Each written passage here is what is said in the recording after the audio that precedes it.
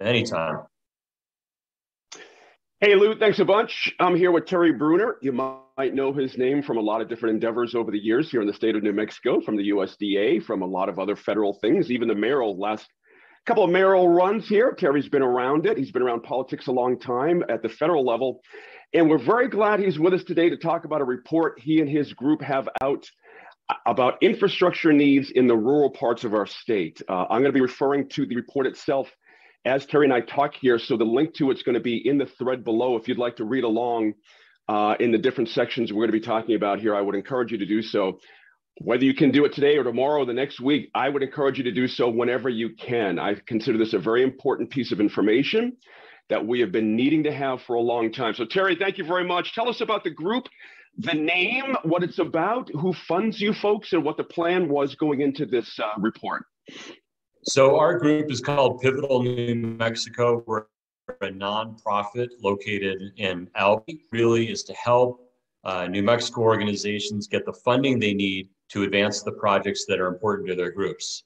Um, so uh, we've been ex- in existence for a few years, funded by several different New Mexico and out-of-state foundations, and also through contract work that we do with governments and uh, and nonprofits. And we were asked by the legislature uh, last year to compile a report on New Mexico's rural infrastructure needs in the areas of broadband, electric, sewer, and water. Mm-hmm. Mm-hmm. Let's cut these uh, just a little bit finer here. I want to I don't want to swing back to those four issue areas here, but interestingly, what the theme that really comes out in this report is there's a lot of issues here deferred maintenance issues the, the fact that we have not invested in our infrastructure for too long. Now we're playing catch up. And I realize a lot of folks are probably going to get hung up on the costs of these things. so I want to start somewhere philosophically on this. It, it, really is a situation that we can either pay to catch up or we can just pay forever to never catch up, isn't it? it now is the time to strike, it seems to me. That's the, this is what the report is saying. Yeah, you you have the money in the bank now to make a giant mm-hmm. impact on on the the deficit we have in a sense in broadband and and water and, and sewer. So um, yeah, you'll never quite always catch up um, because you know things need to be repaired and everything. But we have have not been strategically um, uh, on top of taking care of all these needs um, in the past decade or so. So we do we have a bit of a lag. Mm-hmm. Let's talk about it. Let's talk about broadband. That's one of the four issues issue areas there, and we could take an hour on this. it's so complicated. But give me your top line assessment from the report about what's missing for uh, New Mexicans here when it comes to infrastructure and being connected to the world, and what it's costing us in the report. Well, you know, as you know, New Mexico's got the lowest speeds in the nation and, and some of the worst coverage. Um, so, you know, even in the areas that we have coverage, the the the speeds aren't uh, up to standard na- nationwide. So um, we really lack a strategic way of looking at broadband, um, similar to like how you look at a highway system, where you know certain highways need improvements because a lot of people travel on them, and those are the priority. The same thing is true with broadband. We really have to focus on where the high needs are, and then mm-hmm. and then have a strategy to leverage all the different funding that's out there to complete as many projects as possible. And, and that's what we've been doing in the past is one-offs, and there hasn't really been a strategy behind it. And, mm-hmm. and throughout our document, we really um, talk about that need for planning and, and um, a strategic outlook on how you're going to get these needs funded. Mm-hmm. And I'm glad you ended with that word funded because, again, the focus of the report is helping communities and municipalities find a way to fund not just the, their needs, but to fund Terry as well the kind of expertise you need. We have a lot of situations where we're using volunteer help for water projects and infrastructure projects. That's got to end. It's got to be professional, doesn't it? Yeah, I mean, 67% of our state's water systems have less than 500 users. And a lot of those systems are 40 household systems that are literally a mom and pop operation with mom and pop running the water system. And you know, we lack a number, the number of, of water managers we need and engineers. I mean, we say in the report there really ought to be an effort to train more water engineers at our universities or attract mm-hmm. engineering firms from out of state because you know they there's so much work at the moment to be done we don't have nearly the number of professional service people to work on deploying uh, uh, uh, the resources that we need to mm-hmm. fix up these systems. Mm-hmm. Let me bounce back to uh, broadband for a quick sec. I've, I've, my fault. They're taking us off to water. I'm going to hold water here for a quick second. You're calling for a group to, and you mentioned this. I want to get a little more detail. A group to actually oversee the needs of the entire state when it comes to broadband infrastructure. I'm going to assume that also means someone's going to have to be tasked to collate what we have now. Am I am I correct on that? Before we can start yep. to make plans for the future. We we've done some decent planning as a state to catalog what we have. Mm-hmm. Um, but we really don't have a strategy, uh, system by system, community by community, for moving forward, and and how to get that done. I think our, our current governor is getting there, and and mm-hmm. she's appointed some infrastructure people to help with this. That I think is a real great move. But you know, you have issues out there like right-of-way issues. That's a little bit of an ex- obscure part of the law. But uh, you know, when I was a federal executive, we had broadband projects in the Navajo Nation held up for two years on a on a on a, a right-of-way issue, and we recommend a right-of-way commission to navigate those disputes, uh, so that okay. you don't end up deploying ten million dollars for a broadband system that never gets built because of a right right-of-way system. But there's things like that that we can chip away at to make the process go a little faster. Interesting. Um, how about things like uh, what it costs to have rural broadband infrastructure? Uh, in the report, it makes an interesting case that if you uh, dollar, you're going to get back a bunch more than that down the road within 20 years. I think that would be news to most people when it comes to investment. Well, that the you mean that the investment pays itself off in the long run? Right.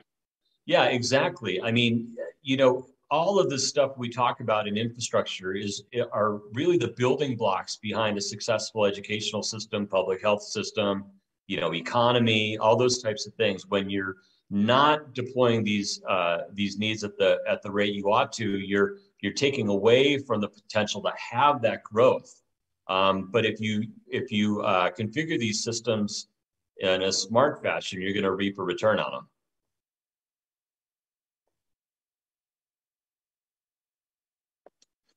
Hold on a quick sec, T. And the guys at the studio, I'm having a little trouble with my audio over here for some reason. Just give me just a quick sec. I'm not quite sure why that is. Terry, can you say a couple of words real quick? Yeah, can you hear me now? Now I can hear you. Sorry, okay. sorry about that. Not quite sure what was going on there. Um, let's kick over to water here real quick. This is a big issue for us here at New Mexico PBS. We've been following obviously a lot of things when it comes to water, meaning you know polluting of water in different ways. But the report points out, and let's get back to how water is managed here. Something needs to come together, and, and tell us about what the report is recommending in, on that front.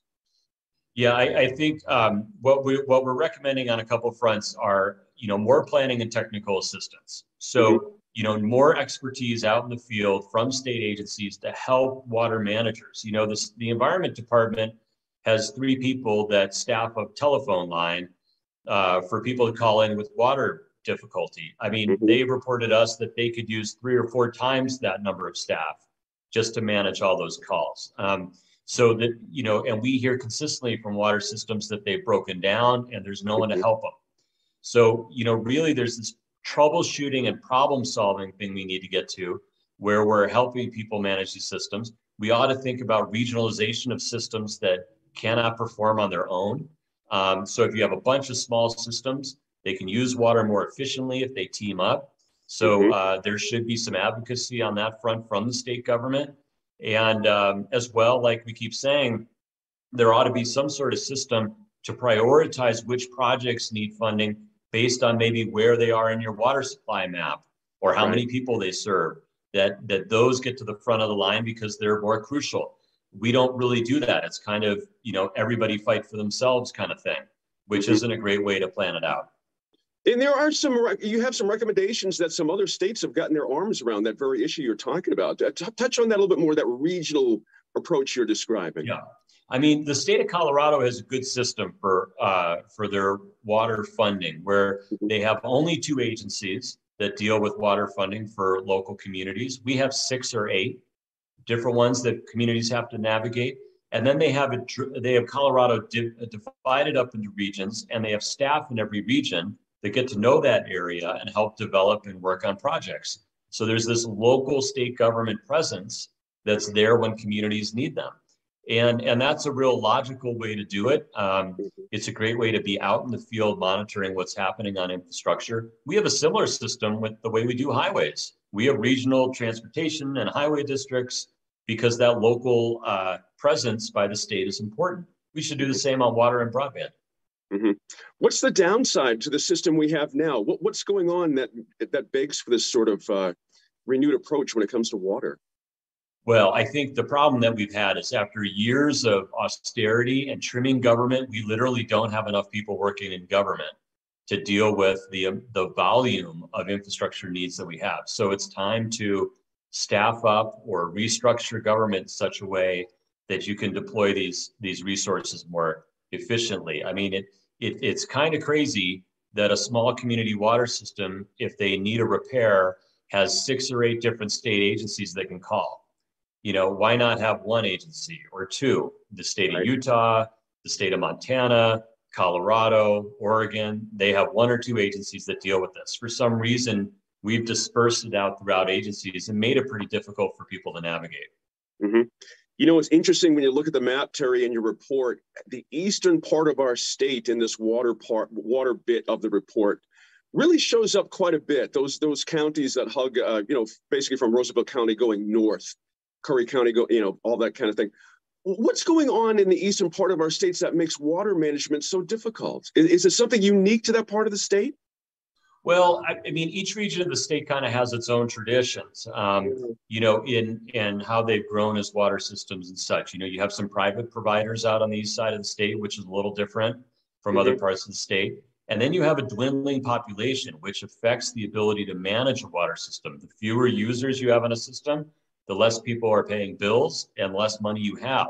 So um, those parts of the state have tr- traditionally had municipal systems and then not a lot of the small systems that are mutual domestic or mom and pop systems, as I would call them, that you see in northern New Mexico, for instance. Mm-hmm. So it's really been more of a municipal function in that part of the state. So that's why you see it centered and clustered around towns like Clayton and Texico and, and places like that. That makes sense. That makes sense. Um, you know, we're talking a lot of money here. And uh, obviously, your group is designed to help folks find that money. How bad is the water infrastructure generally in New Mexico? we at a very poor place? Sort of just needs a little help, or how should folks consider where we are in water infrastructure currently? Well, I mean, you know, it's it's a, like a lot of stuff in New Mexico. We have a lot of uh, systems that are performing adequately. We mm-hmm. have a lot that are not performing at all um, where they should be, and and maybe they're um, having a lot of difficulty. So um, you know, that's not unique around the nation in a sense. Um, mm-hmm.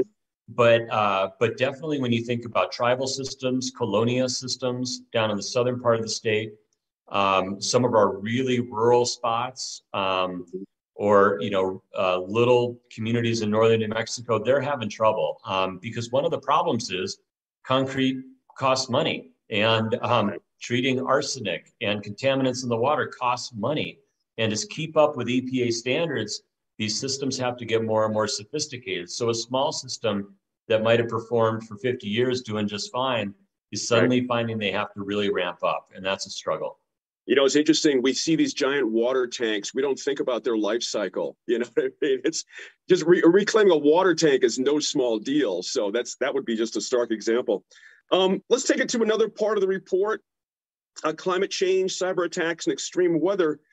50 billion you're reporting to protect against droughts, heat, flood, wildfires, and other uh, weatherization. The time is now for that, isn't it? Especially when you consider wildfires.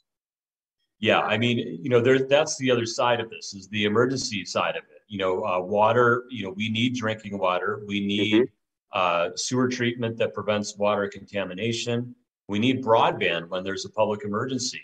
So, so nailing those down are really important. Um, I don't believe our, our state emergency management agency has a lot of flexible funding when those things come about.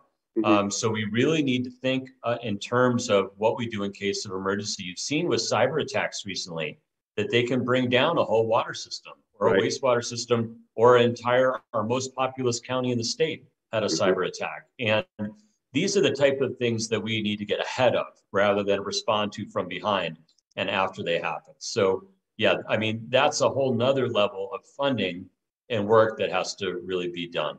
Mm-hmm.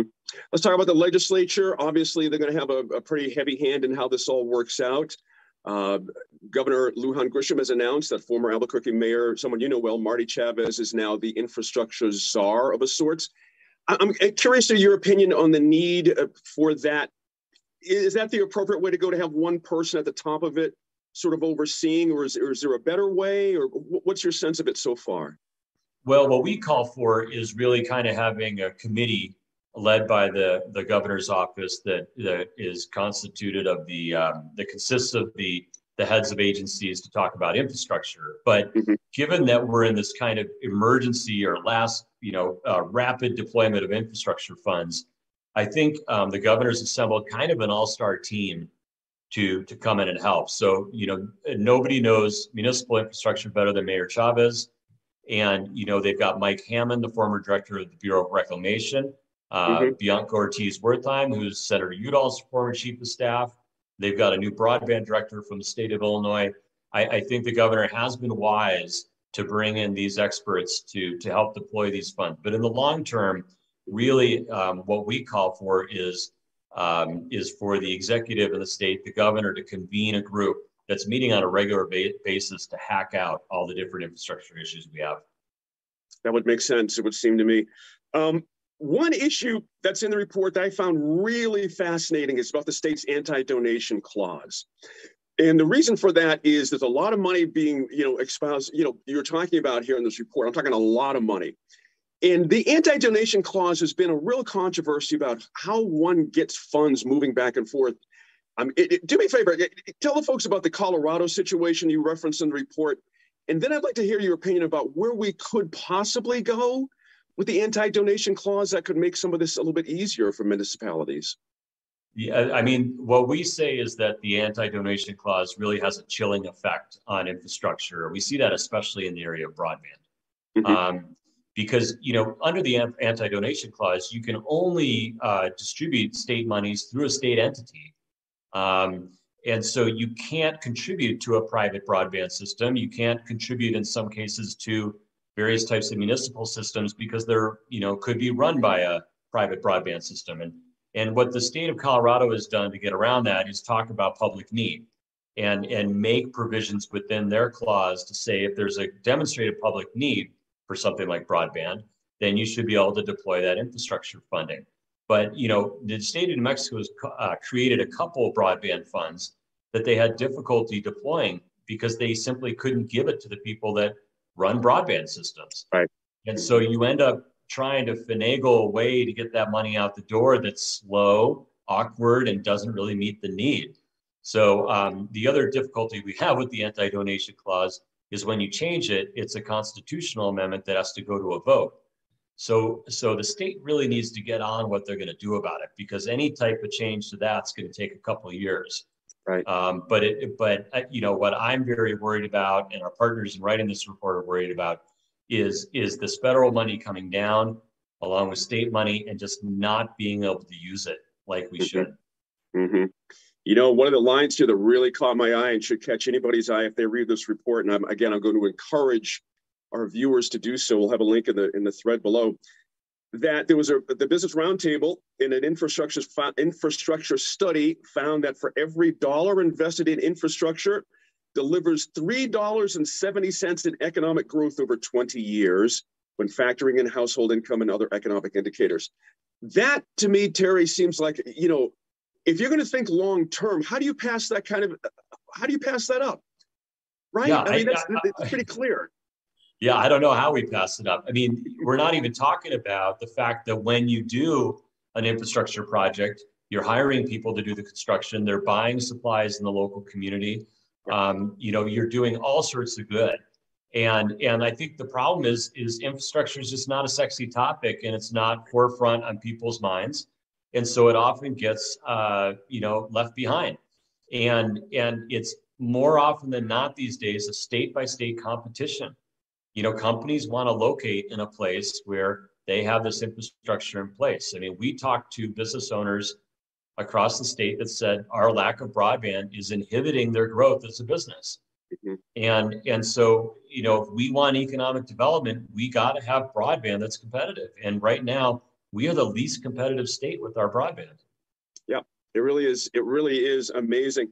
I'm I'm, I'm I go back to Mayor Chavez in the in the challenge he's going to have and his team, his all-star team, as you, as you call them, and that is how to set priorities and who gets in first. And I'm interested in how Colorado did it with the Colorado Together We Build report. They prioritize projects using three criteria one immediate, two enduring, and three equitable. That makes a lot of sense to me when you think about it from a New Mexico lens. How, how does that strike you? Yeah, we we like that. And then, you know, a couple other states like Oregon had uh, early in the recovery, back in early 2020, uh, put out principles behind how they would spend their recovery funds, and they address mm-hmm. things like equity or preparedness or whatever. And and I think we should do the same thing because um, what's happening is the people that get funded are the, the ones that know how to work the system, right? And and they have an engineering firm, or they you know they've spent they've invested the money to get shovel ready, but shovel ready always leaves out a few that aren't quite shovel ready that need a little extra helping hand for some reason.